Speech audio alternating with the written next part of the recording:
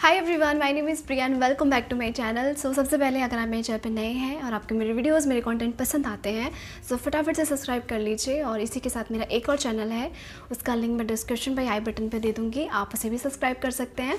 सो so, आज के video में मैं आपके साथ शेयर करने वाली हूँ कर्टेन का रीयूज़ और इस रीयूज़ में मैंने किचन का एक कंप्लीट सेट बनाया है। कोशिश की है कि बहुत ईजी मेथड से मैं आपके साथ शेयर कर पाऊँ। आई होप आपको ये वीडियो हेल्प करेगी और पसंद आएगी। सो so, चलिए फटाफट से स्टार्ट करते हैं। अगर आप स्टिच करके कुछ बनाना चाहते हैं और चाहते हैं कि कुछ रीयूज़ करते हुए आप बनाएँ तो दो फैब्रिक्स ऐसे हैं जिसमें आपको काफ़ी ज़्यादा फैब्रिक मिलता है। एक तो कर्टन का रीयूज़ करते हुए, दूसरा बेडशीट तो उसी में से मैं आज आपके साथ कर्टन का रीयूज़ शेयर करने वाली हूँ। ये मेरा कर्टन कॉटन का है और काफ़ी हैवी इसका फैब्रिक है। सो चलिए स्टार्ट करते हैं। तो सबसे पहले हम बनाएँगे एप्रन जिसके लिए मैंने दो पेपर्स की कटिंग ली है। मेज़रमेंट्स मैं स्क्रीन पे मेंशन कर दूँगी। पेपर की कटिंग आपको बहुत हेल्प करता है। एक तो ये कि आप इसको आगे के लिए रख सकते हैं दोबारा से सेम साइज़ के लिए। सेकेंड है कि जब कटिंग करते हैं तो काफ़ी हेल्प होती है।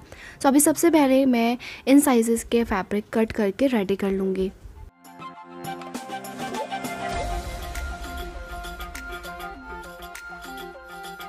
नेक्स्ट मैंने यहाँ पे ब्रॉड वाला फैब्रिक लिया है। सो अभी इसको इस तरीके से फोल्ड करके बॉटम के दो कॉर्नर्स पे मेरे को हल्का सा कर्व कट करना है। सो यहाँ पे मैं मार्क करके इसको कट करके रेडी कर लूँगी।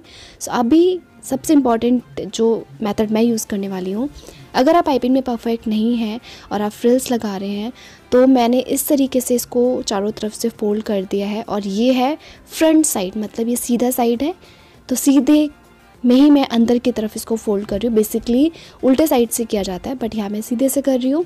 और जो दूसरा फैब्रिक है उसमें भी सेम मैं इस तरीके से अंदर की तरफ़ सीधी साइड से कर रही हूँ।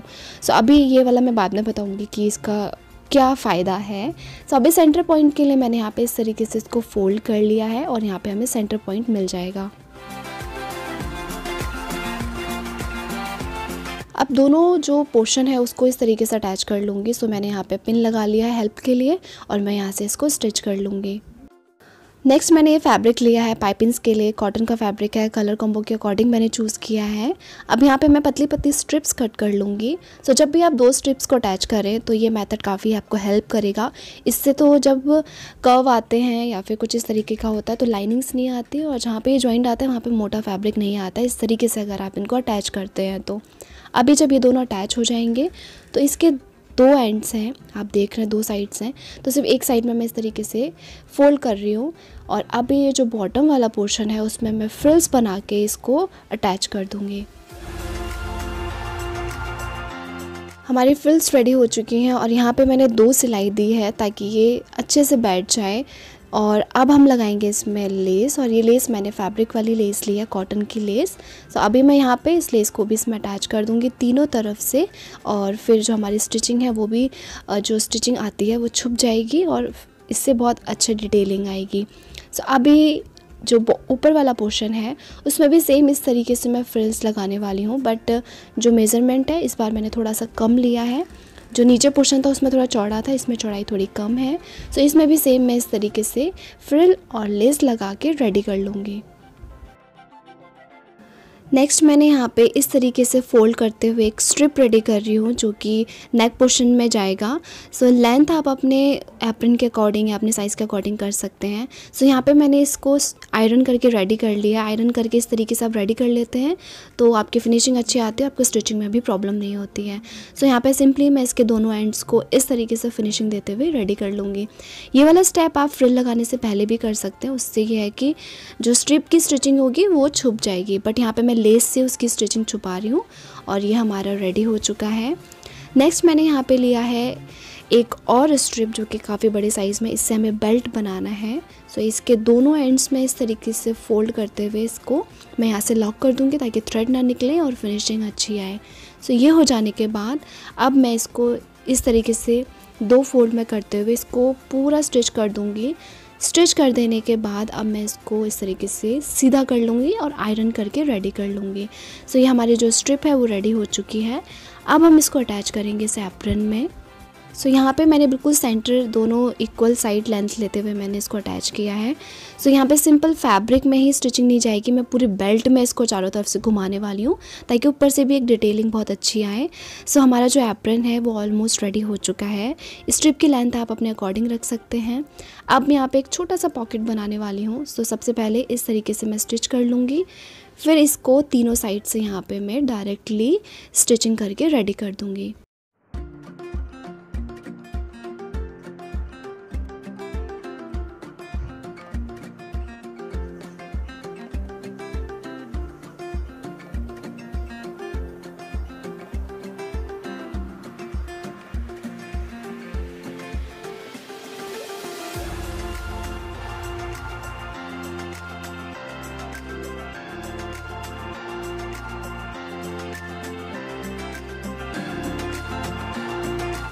नेक्स्ट अब बनाएँगे मिटन कवर्स और मेज़रमेंट के लिए ऑलरेडी मेरे पास अपना एक पुराना डी का मिटन कवर है। सो मैं इसी को यूज़ करने वाली हूँ। सेम अब इस तरीके से रखते हुए मैं इसके साइजेस कट कर लूँगी। क्योंकि दो मिटन कवर बना रही हूँ तो मैं चार पीसेस इसमें से कट करके रेडी कर लूँगी। नेक्स्ट मैंने यहाँ पे पतली स्ट्रिप ली है। जितनी मोटी आपको पाइपिंग चाहिए उस अकॉर्डिंग आप साइज़ चूज़ कर सकते हैं। सो so, अब यहाँ पे लगाएँगे हम ये पाइपिंग और ये पाइपिंग लगाना बहुत इजी होता है। सो so, पाइपिंग लगाने के बाद अब हम इसको जो सीधा साइड है, उसको अंदर की तरफ़ और उल्टे साइड को बाहर की तरफ़ इस तरीके से रखेंगे और इसको फिर हम पूरी बाउंड्री में स्टिचिंग करके रेडी कर लेंगे।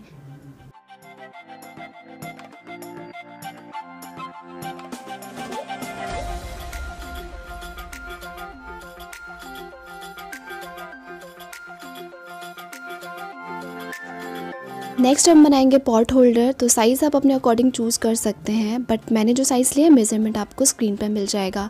सो so, अभी यहाँ पे मैं बनाने वाली दो पीस तो फोर कटिंग्स मैं कट कर लूँगी।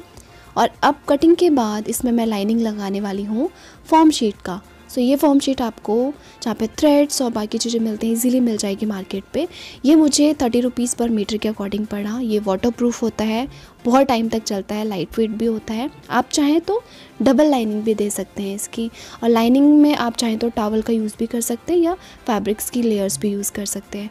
सो बस सिंपली इस तरीके से मैं सेंटर में रख के अब इसमें साइड से इसको बिल्कुल अटैच कर दूँगी तीनों लेयर्स को। क्विल्डिंग के टाइप में कोई भी डिज़ाइन डाल सकते हैं बट मैं सिंपल लाइंस करके इसको इस तरीके से रेडी कर लिया है। नेक्स्ट अब मैं यहाँ पे पाइपिंग लगाने वाली हूँ और पाइपिंग की चौड़ाई आप अपने अकॉर्डिंग कर सकते हैं। सो so, अभी सबसे पहले ऊपर वाले पोर्शन में एक साइड से इसको बिल्कुल चारों तरफ़ से हम अटैच करके, स्टिचिंग करके इसको रेडी कर लेंगे। फिर इसको हम करेंगे टर्न इस तरीके से और फिर बस यहाँ पे इसके एंड में लॉक कर देंगे ताकि थ्रेड ना निकले और बस इस तरीके से फोल्ड करते हुए इसको फिर चारों तरफ़ से स्टिचिंग करके रेडी कर लेंगे। पाइपिंग के बाद अब इस पोर्शन को हम यूज़ करेंगे हैंग करने के लिए। तो सिंपल इस तरीके से फोल्ड करते हुए मैं यहाँ पे इसको स्टिचिंग करके अटैच कर दूँगी। आप चाहें तो इसकी लेंथ और ज़्यादा रख सकते हैं अपने कंफर्टेबल के अकॉर्डिंग। सो so, अभी हमारा जो पॉट होल्डर है वो रेडी हो चुका है।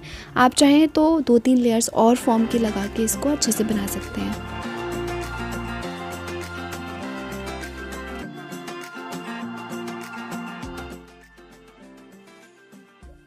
नेक्स्ट अब हम बनाएँगे अवन मेड ग्लव और इसको बनाने के लिए मैंने न्यूज़पेपर की कटिंग कर लिया फैब्रिक भी मैंने कट कर लिया मेज़रमेंट आपको स्क्रीन पे मिल जाएगा। सो so, यहाँ पे मैं आगे का जो भी स्टिचिंग है वो पिक्चर्स के साथ शेयर करने वाली हूँ। सो so, यहाँ पे मैंने दो फॉर्म इस बार यूज़ किए हैं ताकि थोड़ा और हैवी हो जाए। सो so, इस तरीके से मैंने इसको कट कर लिया है। अब मैंने यहाँ पे दोनों फॉर्म लेयर्स को इस फैब्रिक के अंदर इस तरीके से रख दिया है। अब हम इसमें करेंगे स्टिचिंग इन चारों लेयर्स को अटैच करने के लिए। सो so, यहाँ पे आप चाहें तो कोई भी कुल्टिंग कोई भी मेथड कर सकते हैं क्योंकि मेरा फैब्रिक ऑलरेडी प्रिंटेड है तो मैं सिंपल्स में लाइंस करने वाली हूँ इस तरीके से स्लेंटिंग लाइंस और ये जो फैब्रिक है बेस हमारा बिल्कुल रेडी हो चुका है। नेक्स्ट मैंने यहाँ पे दो फैब्रिक्स इस तरीके से पीसेस ली हैं इसके आपको मेजरमेंट्स बाद में पता चल जाएगा अपने आप ही। और इसमें हम करेंगे पहले पाइपिंग तो एक साइड से आपको पहले इस तरीके से सिल लेना है फिर इसको टर्न करके इस तरीके से रेडी कर लेना है। अब आपकी स्टिचिंग अगर दिख रही है तो आप चाहें तो इसमें लेसेस लगा सकते हैं। तो यहाँ पे मैंने इस तरीके से लेसेस लगा रही हूँ ताकि कंप्लीट सेट लगे और लेस लगा के इसको मैं रेडी कर लूँगी। सो so, ये जो दो फैब्रिक्स हैं इनको हम इस बेस के दोनों एंड्स में लगाएँगे कुछ इस तरीके से और इसको फिर हम पूरी बाउंड्री में स्टिचिंग करके सबको अटैच कर लेंगे आपस में। अब इस तरीके से अटैच हो जाएगा और बिल्कुल पास में नहीं करना, वरना जो आप हाथ रखेंगे तो वो आप हो सकता है बहुत छोटा हो जाए। तो उसका ध्यान देना थोड़ा सा अब मैं यहाँ पे पाइपिंग लगा के इसको चारों तरफ़ से पाइपिंग की डिटेलिंग दे के इसको रेडी कर लूँगी।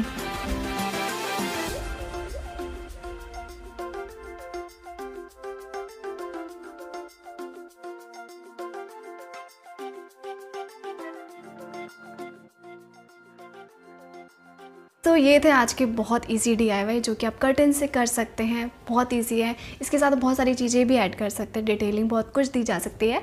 सो आई होप आपको पसंद आया होगा। सो so, सबसे अच्छा क्या लगा मुझे कमेंट बॉक्स में ज़रूर बताइएगा और वीडियो अच्छी लगती है तो लाइक कर दीजिएगा। सो so, मिलते हैं नेक्स्ट वीडियो में तब तक के लिए बाय टेक केयर और अपना ख्याल रखिए।